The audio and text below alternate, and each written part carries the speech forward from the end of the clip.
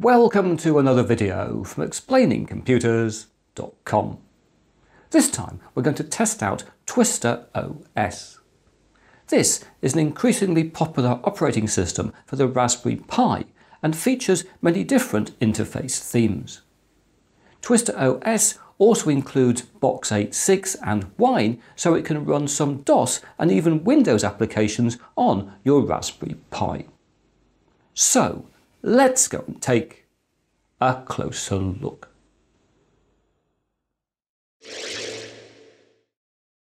Right, here we are on twisteros.com where TwisterOS is made available for us by Pi Labs. And whereas you can see the main goal of TwisterOS is to provide a true desktop computing experience for an SBC, with the operating system including various themes, applications, tools and optimizations to help us get the most out of a single board computer.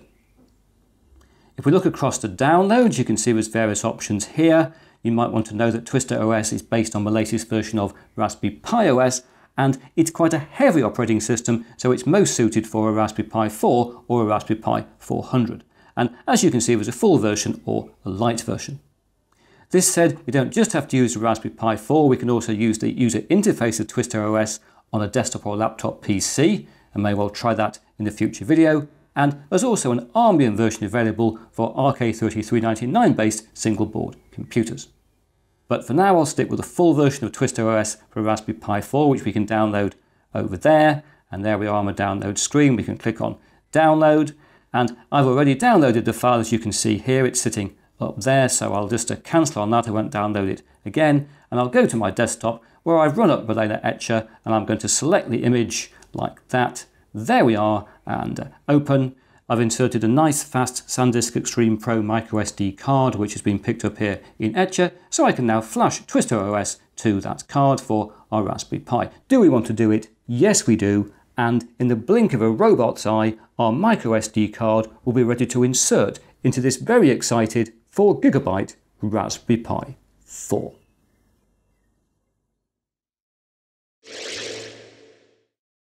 Right, here we are booting into Twister OS and this isn't quite the first boot because I have got in and changed a few display settings to make things work better on video, but what you're seeing here is pretty much what you see when you first boot Twister OS. S. And here we are arriving on the desktop. Welcome to Twister OS it says. And as you can see, there's a lot going on here. This is not like booting into your average Raspberry Pi operating system. For a start, on the top right, we've got a display up here which displays all kinds of system information. And we can see here things like temperature, CPU utilization, how much file space we've got left, things like that. And then on the panel at the top here, we've got standard icons as we normally have on a, a system, nothing particularly exciting there, although here we can see the frequency of the processor and how it's running. If we look down at the bottom of the screen, you'll see we've got a launcher, so we can launch things down here as we can on various operating systems. There, for example, is the LightPad application launcher. If I click on that, we can uh, launch applications. There we are, masses and masses of applications pre-installed on this system. If I just flick through all the things there, that's uh, rather cool, and I can press escape to come out of that. Across on the left of the screen there are icons for various things, trash can, Discord's there, we've got my Android there, looks interesting doesn't it? We've got a RetroPie, we've got the Steam Linux x86 client for gaming, we've got Lutris for gaming as well, we've got Commander Pi for system information and overclocking, and down here we've got a Theme Twister, which is an application for changing the OS theme, which we'll look at in the next segment of the video. Let's also take a brief look in the menu here. You'll see we've got lots and lots of applications pre-installed. This is a packed distro, that's the whole point. Loads and loads of accessories. What's a lot of accessories there? Uh, games, quite a bit here under gaming. Then if we look under graphics down there, you'll see we've got PhotoGimp. Let's just run up PhotoGimp.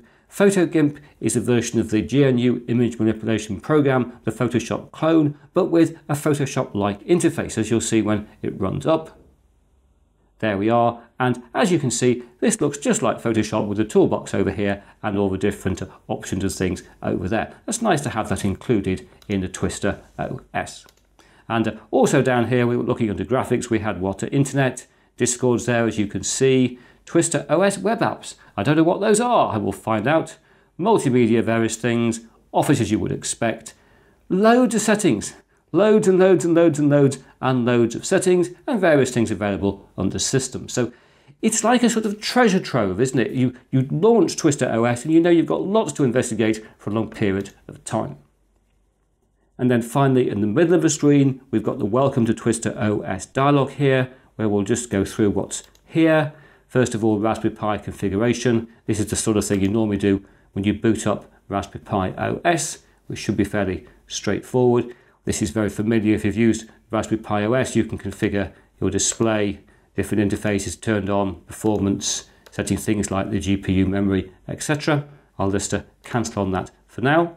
So we'll assume that's okay. We've then got an updater. We can update if we wish. Again, I'll do that later on. And we've got the ability to choose our theme. So if I click on that, this is very exciting. If we click on next on that, you can see different themes, which are the one we start with, but we've also got Twister 95, Twister XP, Twister 7, Twister 10, to make Twister OS look like Windows 95, Windows XP, Windows 7, and for some bizarre reason, if you wanted to do it, Windows 10. And then we've also got a couple of Mac focused themes as well. So I think here I'm going to go for, I think, let's go for Twister XP. Click on that one. There we are, it's having a little think. Will it do this in real time for us? It will. That's rather impressive. And to continue. And hopefully, is it doing a reboot? It is doing a reboot. I thought it might. Let's give it a second to do that.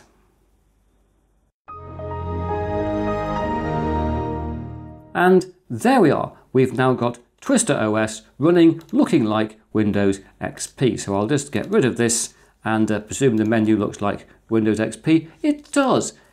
This is rather impressive. And I think we'll look through all the different themes in the next segment of the video.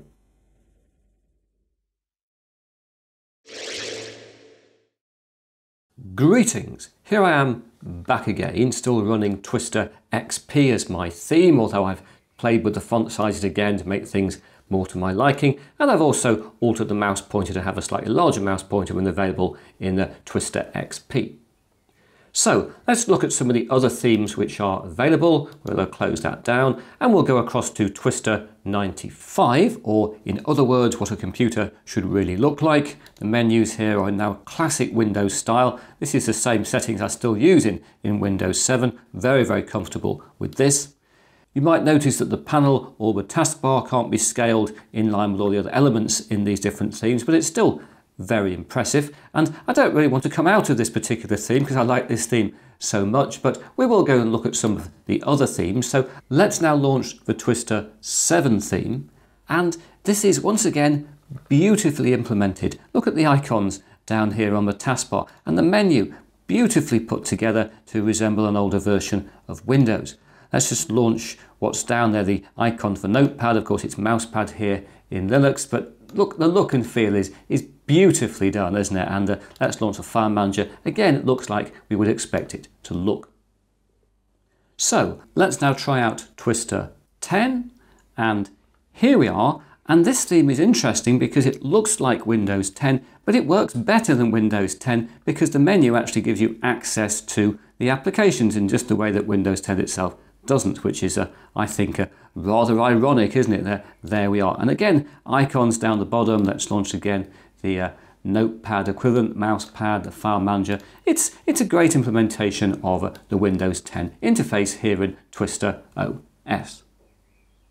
So, as you might recall, there are a few themes left. Let's just go along remind you what they are. We've got an iTwister, which is a Mac theme, so let's try that. And here we are, we now very much look like a Mac. This seems to lag slightly this interface compared to the others. Maybe it's got more work to do, but it's still very nicely implemented, great attention to detail. And uh, it is extraordinary to think we're still running on our 4 gigabyte Raspberry Pi from a micro SD card. So let's try the very last interface theme, which is iTwister Sur. And once again, we've got a very Apple feel to our desktop. Everything's running very nicely. Just go down to the launcher, for example, and it comes up in a second. Little, again, little little delay in, in these uh, Apple clone themes, but they still work beautifully. Very, very nice attention to detail, as we've seen all the way through. And running these interfaces very much makes me appreciate not just how good Pi Labs have been in creating Twister OS, but how far the Raspberry Pi itself has come. These days, people still go, oh, you can't use the Raspberry Pi as a small desktop PC. You clearly can. And running an operating system like Twister OS very much drives that point home. And so let's go back to the original Twister OS theme. And uh, here we are. I've got the dock version selected so we can just see the difference. It's rather wacky, isn't it? And the final thing I want to do is to run up a browser, the Chromium browser down there on the launcher, so we can do a bit of browser-based YouTube playback, because I always do and so many people want to see that in the video looking at a Pi operating system. So I'll get this running full screen. And here we are running full screen and 1080p. And it's not too bad. There are some drop frames as we can see up in Stats for Nerds uh, up at the top corner, but this is, this is pretty good. Remember, Twister OS is based on Raspberry Pi OS, which has got pretty good browser-based streaming media playback, and we're getting that kind of performance reflected here in Twister OS.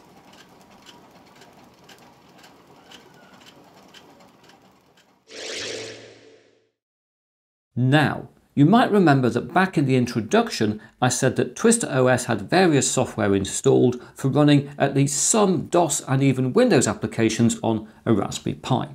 And if we look in the menu and we look under games, we can see what's here. We've got DOSBox sitting there for running DOS applications, but we've also got Box 86 and Wine here for potentially running Windows applications. And what you need to do is to run the updaters here, which take a little while and stress out the pine. It gets rather warm, but they run through automatically. And then you can run the wine configuration to set things up for wine, which uh, will come up in a second. I'll do this in real time so you can see how long it takes things to come up. Come on, you can do it. Give it encouragement. Please run up wine configuration. There it is, so you can configure wine and set things up and add applications as we do in wine. And you end up with Look here in the file manager, you can see we end up with our virtual C drive and uh, we look inside there. You'll see this thing set up here for running some Windows applications, hopefully in Wine via emulation of x86 on a ARM-based processor on a Raspberry Pi, which is extraordinary really. And what I've done is to install Adobe Audition 1.5, which is a Windows application. So I'm going to run that up and you can see that it actually works. And this was fairly painless to set up. Once I'd done all the updating, things like sound worked straight out of the box, and here we are, booting Adobe Audition on a Raspberry Pi. Isn't that amazing? I am really, really impressed with this. And if we go down here and we pull in, say, a file, it loads in and you can work on this. This is perfectly usable. I am very impressed with how far the Raspberry Pi has come and how far Twister OS is helping us use the Raspberry Pi in new and exciting ways. And so I think to close this segment, all I have to do is to press the spacebar and to play this music file.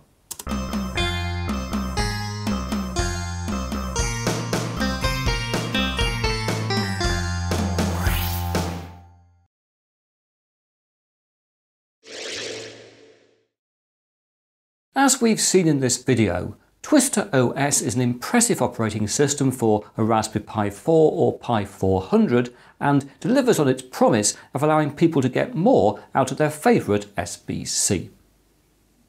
But now that's it for another video. If you've enjoyed what you've seen here, please press that like button. If you haven't subscribed, please subscribe, and I hope to talk to you again very soon.